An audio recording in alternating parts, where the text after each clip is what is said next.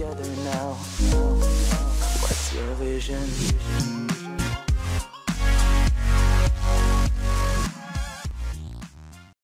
U23 Việt Nam, ngoài Công Phượng, huấn luyện viên Park Hang-seo chỉ ra một cái tên khác xứng là người hùng.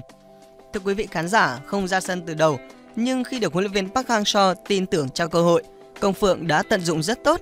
Tên đạo xứ nghệ ghi bàn thắng duy nhất giúp U23 Việt Nam vượt qua Bahrain, giành vé vào tứ kết. Tờ Gold phiên bản Indonesia viết hai sự thay đổi người Công Phượng và Đức Trinh giúp U23 Việt Nam làm rối loạn hàng thủ Bahrain, nhưng thủ môn Amma Ahmed với sự bình tĩnh đã liên tiếp hóa giải các nguy cơ. Dù vậy, Công Phượng cuối cùng đã phá tan được bức tường thép mà Bahrain tạo ra ở phút thứ 88 bằng một cú sút trái phá. Một tờ báo khác là Bola Sport cũng đặc biệt chú ý đến Công Phượng. Cú dứt điểm của Messi Việt Nam, Công Phượng thực sự đã không cho thủ môn Bahrain bất cứ cơ hội cản phá nào. Tờ Bola.com khen ngợi tiền đạo xứ nghệ, song bên cạnh cũng dành những lời tốt đẹp nói về thủ môn Bùi Tiến Dũng. Bahrain cũng tạo ra được những cơ hội, nhưng thủ môn Bùi Tiến Dũng như một khắc tinh của Mahon vậy. Pha dùng chân cản phá ngoạn mục của thủ môn U23 Việt Nam đã từ chối bàn thắng 10-10 cho Mahon.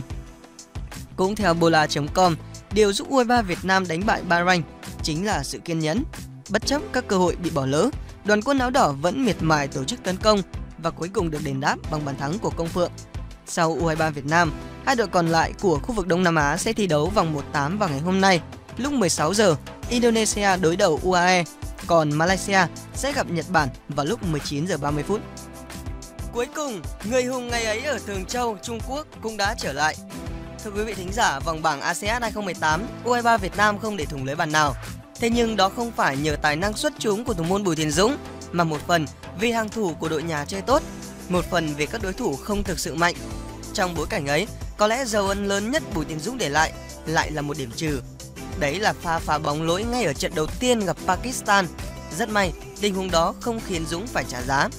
Tuy nhiên vào tối qua, khi đụng độ U23 Bahrain, trời rất đáng ngại, Bùi Tiến Dũng đã thể hiện bộ mặt khác hẳn. Khi mà hàng thủ U23 Việt Nam liên tục bị đặt vào trạng thái báo động, người ta thấy khuôn mặt thủ môn Thanh Hóa đanh lại, đầy quyết tâm và sự tập trung. Bùi Tiến Dũng liên tục chỉ đạo hàng phòng ngự U23 Việt Nam có nhiều pha ra vào hợp lý và tỏ ra chắc chắn đáng ngạc nhiên mỗi khi đội nhà phải chịu tấn công bằng bóng bổng. Đặc biệt trong một tình huống chân sút của đối thủ thoát xuống rồi dứt điểm ra góc xa, Dũng đã kịp thời dùng chân cản phá, cứu đội nhà một bàn thua trông thấy. Thực tế, tối qua, hàng tấn công U23 Bahrain đã thiếu nhiều may mắn khi các pha dứt điểm đập khung gỗ hoặc chệch đi trong găng tấc. Những tình huống ép sân của đối phương cũng chưa thật sự đáng sợ như U23 Việt Nam từng gặp ở Thường Châu, Trung Quốc hồi đầu năm. Nhưng thế cũng là đủ để cho thấy Bùi Tiến Dũng đã trở lại sau những màn trình diễn không tốt ở câu lạc bộ Thanh Hóa. Với một Bùi Tiến Dũng tập trung và xuất thần, U23 Việt Nam sẽ có thêm niềm tin để phòng ngự trước các đối thủ mạnh sắp tới, cụ thể là Syria ngày 26 tháng 8. Công Phượng nói gì về bàn thắng quý như vàng giúp Olympic Việt Nam tạo cột mốc lịch sử? Tiền đạo sinh năm 1995 đã có những chia sẻ về bàn thắng quan trọng giúp đội tuyển Olympic Việt Nam đánh bại Bahrain để tiến vào vòng tứ kết ASEAN 2018. Chỉ được tung vào sân ở nửa cuối hiệp 2, nhưng Nguyễn Công Phượng đã tỏa sáng rực rỡ bằng bàn thắng duy nhất giúp đội tuyển Olympic Việt Nam đánh bại đội tuyển Olympic Bahrain.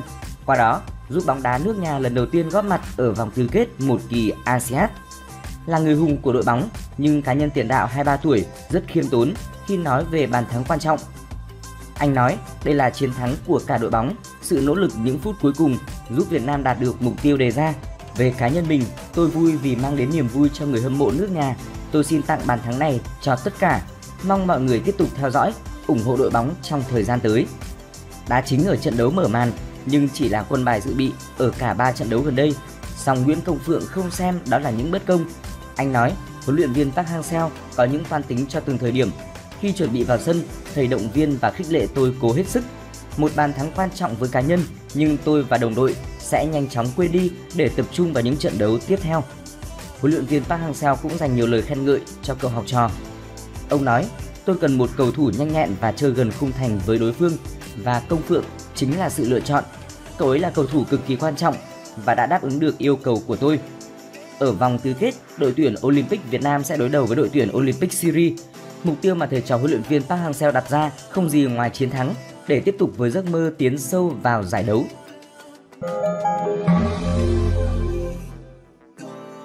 Huấn luyện viên Park Hang-seo đề cao công phượng, bình vực Xuân Trường. Chiến lược gia người Hàn Quốc giải thích quyết định tung tiền đạo thuộc biên chế Hoàng Anh Gia Lai vào sân, đồng thời lý giải việc Xuân Trường chơi dưới sức. Cụ thể, phát biểu sau trận thắng trước Olympic Bahrain, huấn luyện viên Park Hang-seo giải thích lý do tung công phượng vào hiệp thi đấu thứ hai và tạo ra bước ngoặt. Đầu trận, chúng tôi chơi sơ đồ 3-4-3, nhưng sau khi họ bị mất người, tôi cần sự thay đổi nên yêu cầu các học trò chơi theo sơ đồ 4-4-2. Cụ thể, nhà cầm quân này nói thêm, tôi cần một cầu thủ nhanh nhẹn và chơi gần khung thành đối phương và công phượng chính là sự lựa chọn. Cậu ấy là cầu thủ quan trọng và đã đáp ứng được yêu cầu của tôi. Công Phượng bất ngờ ngồi dự bị từ đầu trận. Tuy nhiên, ngay trong hiệp đấu thứ nhất, trợ lý của ông Park Hang-seo liên tục trao đổi riêng với tiền đạo Hoàng Anh Gia Lai để anh sẵn sàng vào sân khi đội cần sự khác biệt. Trái ngược với Công Phượng, Xuân Trường chơi từ đầu nhưng không thể hiện được nhiều nên bị thay ra ở đầu hiệp 2. Dẫu vậy, huấn luyện viên Park Hang-seo vẫn dành lời khích lệ cho tiền vệ sinh năm 1995. Xuân Trường cũng như một số cầu thủ khác đều không có được thể trạng tốt trong trận này, nhưng tôi tin họ sẽ làm tốt hơn ở trận tới. Olympic Việt Nam sẽ gặp Olympic Syria tại tứ kết bóng đá nam ASEAN. Đây là lần đầu tiên đại diện của Việt Nam lọt đến vòng đấu này. Người đứng đầu đội bóng đã thấy vấn đề và nói sẽ làm công tác tư tưởng, tinh thần tốt nhất cho các học trò trước trận gặp Olympic Syria. Bên cạnh đó, huấn luyện viên Park Hang-seo từ chối bình luận về các quyết định của tổ trọng tài, đặc biệt là thẻ đỏ của tiền đạo số 9 Sanat Ahmed. Nhà cầm quân người Hàn Quốc cho hay vua áo đen có suy nghĩ và trách nhiệm nhất định khi rút thẻ. Trong khi đó, hậu vệ Văn Thanh, người bị đối phương đạp vào mắt cá bồi hồi chia sẻ, toàn đội đã quyết tâm vượt qua thử thách và tạo nên cột mốc lịch sử cho bóng đá Việt Nam.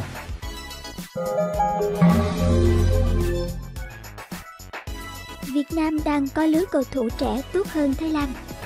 Quý vị và các bạn thân mến, những gì thầy trò huấn luyện viên Park Hang-seo làm được tới lúc này xứng đáng được ca ngợi. Một đội tuyển dù ở cấp độ trẻ, khi đánh bại được Nhật Bản thực sự là chiến tích vang dội. Không có nhiều đội tuyển Đông Nam Á làm được điều này ở các giải đấu có Nhật Bản hay Hàn Quốc tham dự. Nhà báo Scott McIntyre của Fox Sports Asia đã chia sẻ với chúng tôi rằng màn trình diễn của các cầu thủ Olympic Việt Nam rất đáng khen ngợi. Các cầu thủ đã cho thấy nền tảng kỹ thuật và sự tự tin mỗi lần đối đầu với đối thủ mạnh. Bình luận tiếp về sân trường, Quang Hải, Văn Hậu, Không Phượng, nhà báo người Australia nhấn mạnh, bóng đá Việt Nam đang sở hữu lứa cầu thủ trẻ tốt hơn đại kình địch Thái Lan. Ở những giải đấu gần đây, các đội trẻ Việt Nam đều gặt hái được thành tích ấn tượng, trong khi Thái Lan lại sa sút. Bằng chứng ở sân chơi U23 châu Á diễn ra hồi đầu năm, tuyển U23 Việt Nam tạo nên cú sốc lớn khi giành ngôi Á quân. Trên đường vào chung kết, Công Phượng, Quang Hải đã bỏ lại phía sau nhiều tên tuổi như Australia, Iraq, Qatar. Ngược lại, đội trẻ Thái Lan dừng bước từ vòng bảng. Rồi tại ASEAN 2018, tuyển Olympic Việt Nam dễ dàng đi tiếp và thậm chí giành ngôi nhất bảng trên cả Olympic Nhật Bản. Họ toàn thắng cả 3 trận, ghi 6 bàn và không để thủng lưới. Nhìn sang Olympic Thái Lan, voi chiến, biệt danh của đội tuyển này, chỉ có 2 điểm và chia tay giải từ vòng bảng. Sẽ có những tranh luận rằng Thái Lan không gửi đến ASEAN 2018 đội hình mạnh nhất. Tuy nhiên, Scott McIntyre không đồng tình về quan điểm này. Ông phân tích, màn trình diễn của tuyển Olympic Việt Nam rất đã mắt, các cầu thủ chơi thứ bóng đá tấn công hấp dẫn và hiệu quả.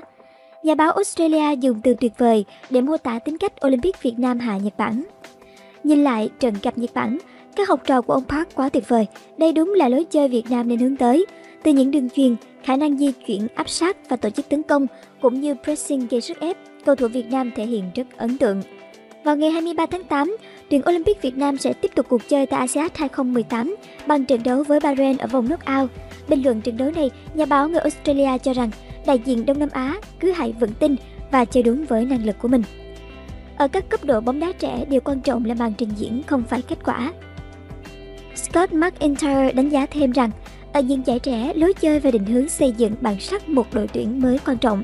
Tại ASEAN 2018, huấn luyện viên Park Hang-seo thành công trong việc định hình phong cách thi đấu cho tuyển Olympic Việt Nam. Những cầu thủ trẻ cũng đã thể hiện được năng lực của mình.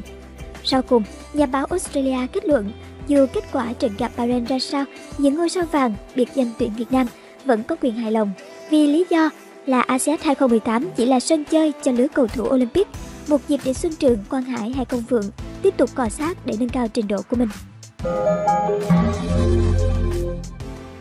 Cảm ơn các bạn đã theo dõi video. Hãy cho chúng tôi biết suy nghĩ của bạn bằng cách comment ở bên dưới. Nếu thấy hay, hãy like và chia sẻ cho mọi người cùng xem.